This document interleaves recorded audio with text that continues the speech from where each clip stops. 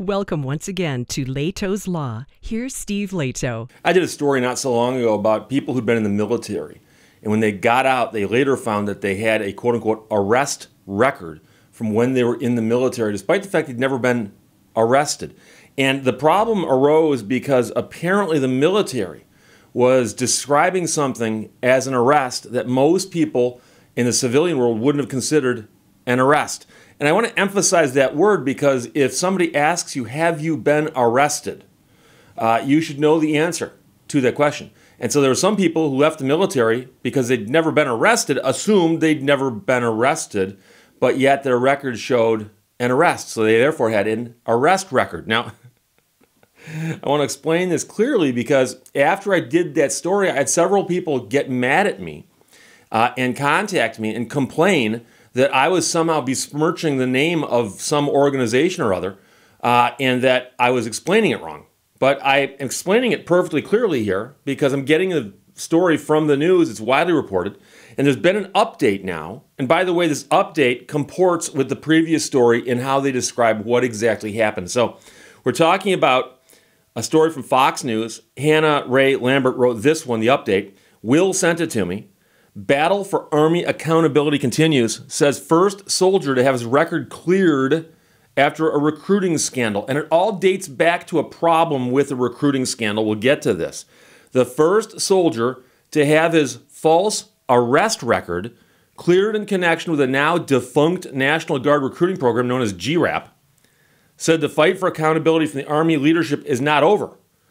I do feel a sense of accomplishment because now they're listening to what we've been trying to say for over a decade, says the captain in an exclusive interview. There's some measure of justice, but what they're doing is not enough. This man is among the nearly 2,000 soldiers slapped with a false arrest record due to participating in a National Guard recruiting program known as GRAP and its Army Reserve counterpart. GRAP ended in 2012 amid accusations of fraud and mismanagement, and the Army launched Task Force Raptor to investigate more than 106,000 people who received some kind of money from that program. And what it was was, was a program for recruiting. And if you got someone to join, you would get paid a, a, a bonus. And there were allegations that some people had claimed credit for people that they actually hadn't gotten to join. So investigations were launched, but the problem is that some of the people who were investigated, their record was noted as arrested when they hadn't been arrested. And so that's the problem. So only 137 soldiers were prosecuted, but the Army Criminal Investigation Division, or CID, titled 2,580 soldiers, creating a permanent military record showing that they were subject of an investigation according to the Army. CID forwarded an estimated 1,900 soldiers' records to an FBI database where the information was then showing as an arrest on a background check, even though the soldiers were never arrested. And then it lists the charges that they may have been investigated for, such as wire fraud.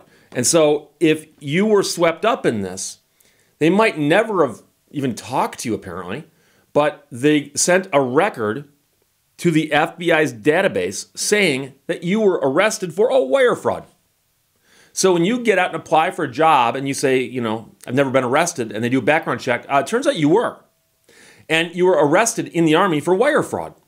So, number one, it looks like you lied to them about never being arrested. And number two, what's with this wire fraud thing? And so here's the problem it doesn't appear to be the FBI's problem the Army is sending the records over saying, here's what we've got in these people. So I'm not blaming the FBI or any other law enforcement that pulls up a record sent to them by somebody else and say, oh, somebody else sent this to us. It must be true. I mean, who wouldn't trust the Army's records? So it looks like it's the Army's fault, and it looks like it's because they misclassified something. And somebody pointed out to me that it's quite possible that these two entities, that is the military and the FBI, might be, in essence, miscommunicating. What we have here is a failure to communicate. So, CID Director Gregory D. Ford announced on November 3rd that his agency had reviewed hundreds of GRAP cases and found that the majority of those are requiring some form of correction. it's military doublespeak for we made some mistakes We'll, we'll, we'll look into it. The majority of those are requiring some form of correction. It's very, very passive. Who made that mistake? We don't know, but they're requiring some form of correction. CID is now reviewing all approximately 1,900 cases forwarded to the FBI to determine if soldiers should be removed from the database or, or just remove that arrest thing. The people who've been washed out of the service without their retirement or their pensions, what happens to them? Says a woman who launched the website Defend Our Protectors in 2015 to advocate for service members targeted by Task Force Raptor. So there were some people who lost their uh, other benefits and, and rights because of this arrest record. And so this woman's been working on this now for seven years, trying to get this straightened out. Uh, she said she's received hundreds of calls, emails, and Facebook messages from soldiers and veterans who never thought they would see progress in the fight to clear their records. Many of them wonder what comes next. So somebody's recognized this, and one person has had their record cleared. The people who haven't been able to get jobs because their background records have been so sullied, what happens to them? She said.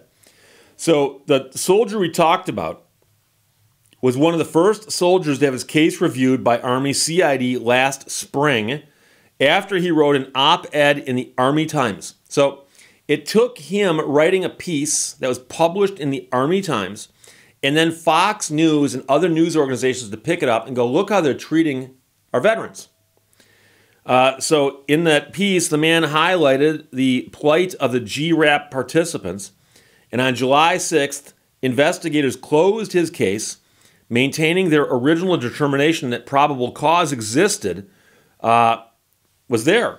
Around the same time, CID announced it would review about 900 cases in which recruiting assistants were titled. Titled. So this man then was surprised to find out on November 3rd when CID staff called to tell him he was the first GRAP participant to be untitled and have his criminal record cleared. After years of fighting to hear those words, he told Fox News he felt neutral because he knew there was still a battle ahead. So it's kind of like, well, it's a step in the right direction. It doesn't solve all the problems. And uh, yeah, so here we go. Army officials said during a call with reporters that soldiers can contact the Army if they think their careers have been impacted by GRAP. Many of the soldiers who were denied promotions due to the flag on their records hope to have their ranks corrected and receive their back pay. And one thing you have to remember is it wasn't saying they were convicted of anything, it was saying they were arrested for something. So you might say, what's the big deal? Well, there are some places where you can apply for a job and they ask you, have you ever been arrested? And so if you answer in the negative and say, no, never been arrested, and they pull your record. Oh, you were arrested when you were in the Army for wire fraud. Like I said, there's two strikes there. One is that you were arrested for wire fraud, and the second is that you lied when you said you hadn't been arrested. That's what they think. I understand that you didn't. I'm, I'm, I'm making it very clear here. That's the problem. The Army admitted that labeling me as a criminal was flat out wrong, the man says. But then they want to fix it by forcing me to go through another exhaustive bureaucratic process to get my rank and pay. That's just more trauma. Unnecessary thing to do after admitting fault, meaning they were at fault. They should straighten the stuff all out. A lawyer and a retired Green Beret said the board that corrects military records is notoriously slow. and he would know, as he's a lawyer and a former you know, Green Beret. And you got to remember, I know people been in the military relatives of mine, friends of mine. I know a lot of people in the military. Several recurring themes I've heard speaking to them. And one of them is that the bureaucracy is so slow and occasionally glacially slow to the point where you can't even tell if they're moving. And they're so big and powerful and it's it's it's it's impossible. It's like it's like you're trying to move a mountain by yourself if you're trying to go up against the military bureaucracy. So saying they're notoriously slow is probably an understatement. He says, I'm familiar with other cases where the petition has been pending three years and 10 months with no answer. Three years and 10 months. Explain to me a process of paperwork that would require you three years and 10 months to figure out. And the reason that, of course, is, is that within the bureaucracy, there is smaller bureaucracies. It's bureaucracies all the way down, okay? So what happens is somebody gets the request and they go, oh, somebody says that this has been done wrong. They hand it to somebody else and sits in their desk for three months. Three months later, they pick it up and they go, oh, I'm not the person for this. It goes over here, goes over here, goes over here. And, and next thing you know, it's lost somewhere in a maze. And it may have gone through a shredder by now. We don't know. But they'll get to it when they get to it, which means three years and 10 months, still haven't heard. So this man, the one soldier whose name has been cleared, wants the Army to completely override the appeals process. Give us our rank, give us our pay immediately, and ensure that future untitled victims do not go through more exhaustive bureaucratic appeals. He added that he wants Army Secretary Christine Wormuth to conduct his promotion ceremony and issue a public apology to the victims who have been titled without due process. And of course, that's another thing is that generally speaking, if you're accused of a crime, you've got the right to know who's accusing you and participate in your defense. And now you're going to say, but Steve, these people weren't, weren't, weren't convicted and they weren't really charged. They were simply uh, erroneously listed as having been arrested. But it winds up being treated almost like you've been convicted of a crime, the way that the fallout from this is, because there are ramifications to you losing benefits and so on because of your arrest record when you've never been arrested. O'Connell, that's the uh, attorney Green Beret, has represented hundreds of GRAP participants. He said CID had removed five of his clients from criminal databases as of last week. Five. He's represented hundreds. He's gotten success on five, presumably waiting on the others.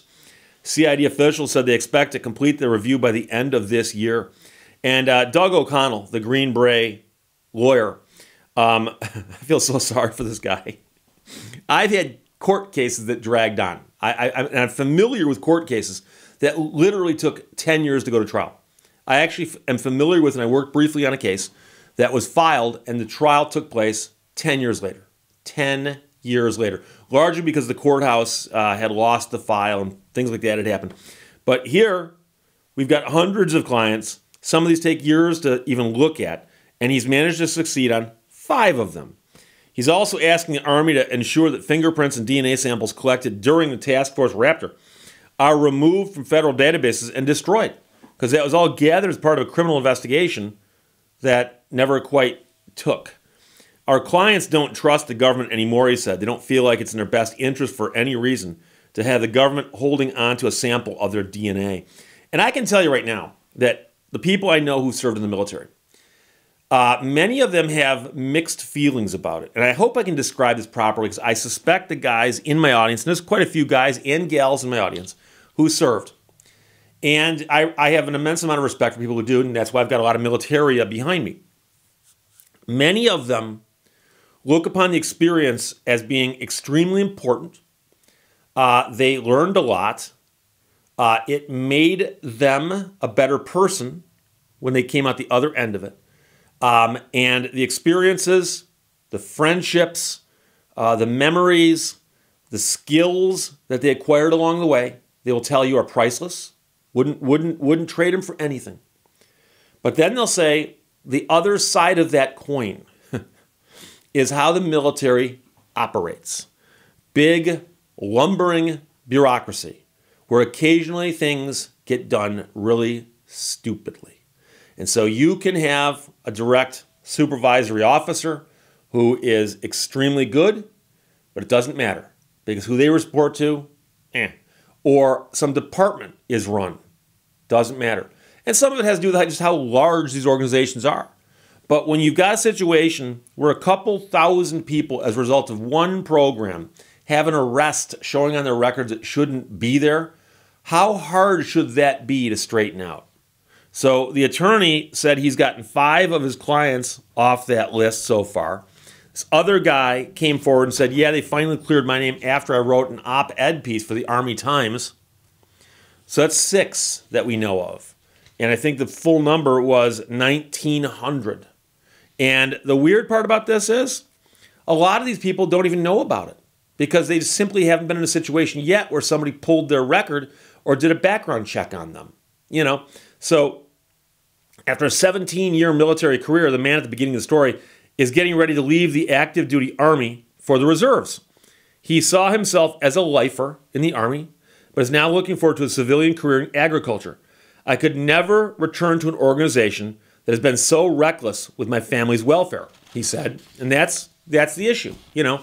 So it's unfortunate because like I said, many of the people I've spoken to that I know talk about the time in the military and they've got such great memories about most of it. They're going to tell you the parts that weren't fun. Of course, of course.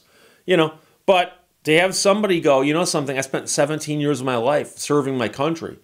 And when I get out, I discover that I've got an arrest record, but I was never arrested. And so, again, I'm not blaming the FBI for accepting the records of the Army.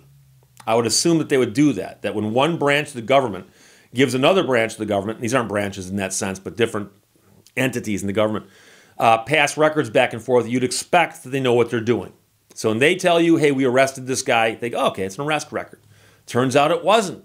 So there's the problem. So it looks like there's progress being made, but the dam hasn't broken. Right now, what we've got is just a little trickle, little trickle, because there's one guy here, and the attorney Green Beret guy said he's gotten five. Five. So that's six we know of out of the 1,900 who had the problem. So it's a step in the right direction. Will, thanks for sending me the story. Hannah Ray Lambert wrote this for Fox News. Battle for Army accountability continues.